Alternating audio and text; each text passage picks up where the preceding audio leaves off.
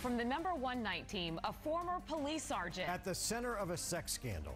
It involves body camera video showing him have sex with a woman in his office. Monsoon alert. Summer storms bring blowing dust and rain. Will we dry out overnight? 12 News exclusive. Oh, I was like, wow, it happened to me, and I'm lucky to even be alive. Two teens are reuniting at the spot where the lightning bolt nearly killed them. Only on 12 News, blowing dust, intense lightning, relentless rain. We're verifying if our summer storms really cause monsoon migraines. Developing now, predator priests. Priests were raping little boys and girls. An explosive new report outlining decades of abuse and cover ups. War of words. Omarosa claiming she's heard the president using the N word as Mr. Trump blasts back. Arizona's news leader in action for you tonight. 12 News at 10 starts right now. Good evening, everyone. Monsoon alert. The 12 News storm team is out tonight tracking a weakening line of storms that have marched across the valley, bringing rain to a lot of us. We'll have Lindsay's storm track in just a couple of minutes. But first, tonight's big story involves a former police sergeant at the center of a sex scandal. An investigation finding body cam video of him having sex in his office. And that's not all for a cop who's been fired not once, but twice. Team 12's Bianca Buono is live in the Alert Center with what we're learning tonight. Bianca? Mark Caribe investigators say they found a folder on Anthony Duran's work computer containing sexually explicit images, including body camera footage of him appearing to show him having sex with a woman. Nearly all of the video is extremely X-rated and, of course, not appropriate for television. So a warning, some of the still images you're about to see may be a bit graphic. Video shows Superior Police Sergeant Anthony Duran switching on his department issued body camera and angling it toward himself. The video shows him wearing his uniform, sitting at his desk, having sex with a woman. A report from the Pinal County Sheriff's Office reveals that video saved in a folder on Duran's desktop titled Fun Time, alongside 36 gigabytes of more pornographic videos, as well as nude photos Duran appeared to take of himself. Investigators also discovering naked pictures of an underage girl in the same folder. The sergeant viewing the images, writing in his report, the images and the fact they were intersected with pictures of sexual situations caused me to physically react with shaking hands and upset stomach. PCSO later discovering the images are of Duran's daughter. The Pinal County Attorney's Office not charging Duran with a crime, but the report concluding there is suspicion that some grooming behavior may be present. 12 News learning Duran previously worked for the Pima County Sheriff's Department, which also conducted an internal investigation. In that case, Duran accused of having inappropriate contact with a woman while on duty in his uniform in his patrol car. Duran's peace officer certification then suspended for six months in July of 2013. And the Superior Police Department confirms to 12 News that it fired Duran in April of this year and is declining to comment any further. We did try tracking down Duran, but have been unable to find him. We're live in the Alert Center tonight. Bianca Buono, 12 News at 10. All right, Bianca, thank you. Now back to our monsoon alert now as storms push through parts of the valley. A lot of lightning out there tonight. Check out this rain coming down on I 17 on the Daisy Mountain Freeway just a little while ago. Our ADOT cameras rolling as drivers brave the slick streets. And our 12 News storm tracker getting in on the action, chasing the sporadic showers as they move from Phoenix to Old Town Scottsdale. Of course, it all began as all monsoon storms usually do with a wall of dust.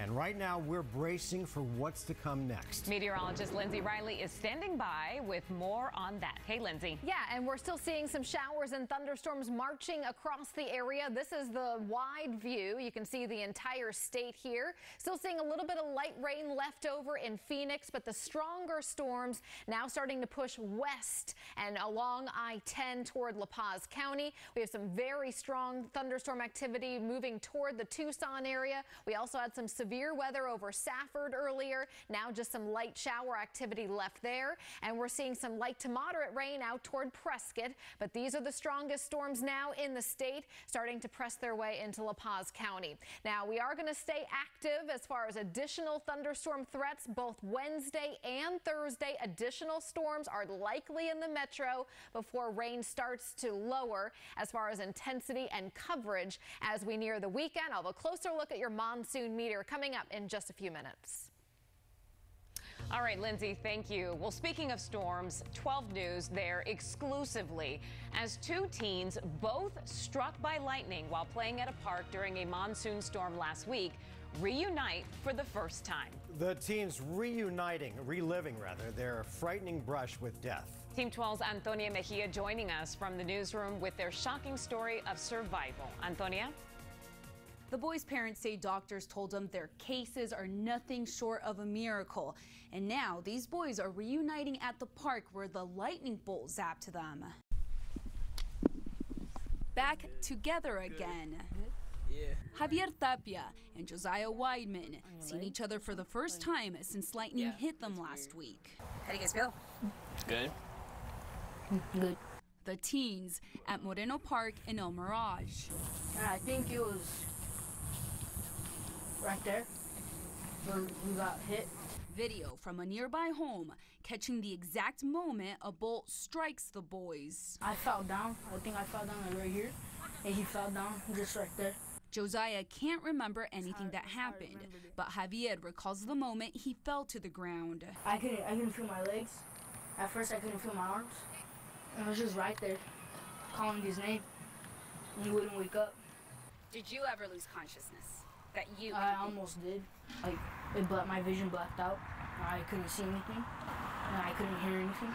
But miraculously, both these teens are alive and recovering. My foot still hurts. My legs hurt occasionally. Really? Yeah, like this one right here only though. No, you're really, you're really strong too. Josiah coming out once again with the skateboard he had that evening. They said the metal on the skateboard attracted it. Yeah, that's what people are saying. It's very well what could have been the attraction, but it's definitely what yeah. has these boys out here and looking out for each other more than ever before. I'm just happy that he's okay. Happy you're okay, bro.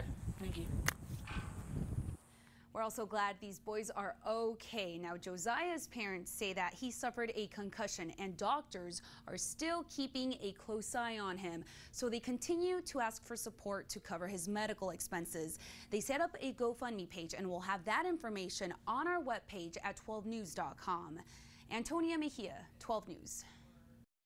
I still cannot get over how lucky those boys are. Well, here's some more hot headlines happening tonight. A man was arrested and booked into jail last night after police say he admitted that he intentionally rammed his vehicle into another man outside a Walmart near Reems and Greenway in Surprise. Investigators say the driver, a 19 year old man named Chet Becker Jr., and the pedestrian knew each other and had been arguing about how the driver had been treating his girlfriend. And when the victim walked in front of Becker's car, he hit the gas. The victim was taken to a local hospital in critical condition. A Phoenix dad is accused of fatally beating someone who tried to enter a bathroom stall that his teenage daughter was using. Police say 40 year old Melvin Harris drove to a convenience store to pick up his daughter and her friends. He later was informed that a man tried to enter the stall his daughter was using. The man left the store and was pointed out to Harris, who punched him in the face and allegedly kicked and stomped on him. The unidentified victim was taken to the hospital with a broken nose and brain injuries and later died. And check out this security camera footage just released of a drive-by shooting in Phoenix. It shows two men looking into a car and pointing a gun at a home. As they're driving off, one of the suspects opens fire, hitting both the home and the car.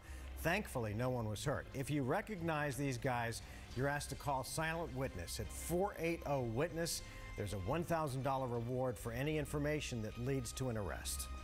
New at 10, a former Mesa City Councilman caught on camera accosting hikers who he says are trespassing on his property. The videos now posted online show Bill Jaffa calling police as soon as someone steps on the trail near his sprawling estate. Take a look at this. Why yeah, I've got a woman uh, trespassing on our property. Could you send police over right away?